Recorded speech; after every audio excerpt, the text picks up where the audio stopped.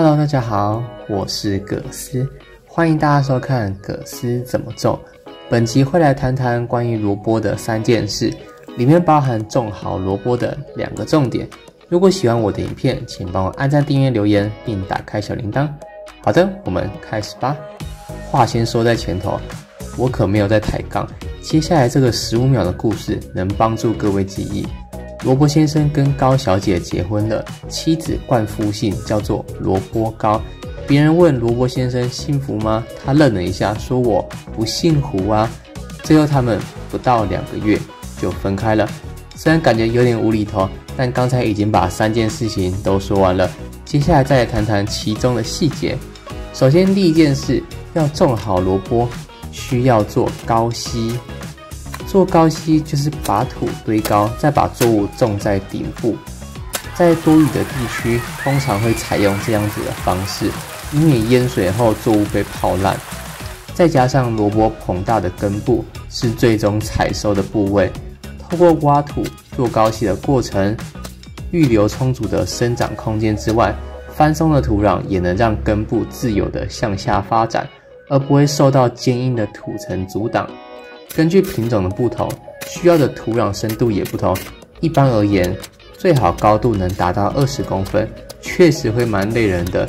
当然，想种萝卜不一定要做溪，可以选择种樱桃萝卜，也就拇指大小，适合空间有限或只能种盆栽的人尝试哦。做完溪就能播种了，一次播三至五颗种子，以免有突发状况。约一周内会发芽。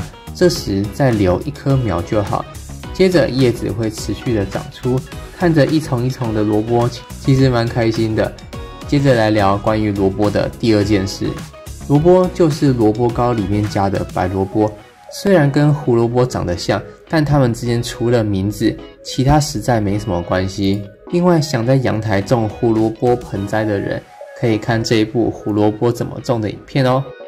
最后第三件事，请注意采收日期。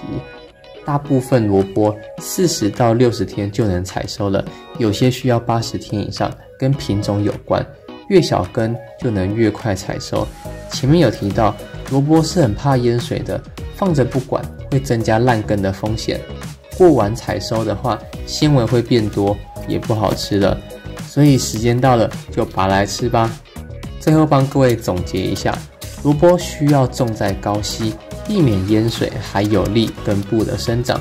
虽然感觉跟胡萝卜很像，但萝卜跟胡萝卜没关系。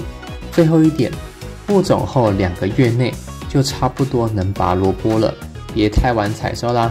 好的，本集影片到这结束，预祝各位种得愉快，感谢各位观看，我是葛斯，我们下期再会。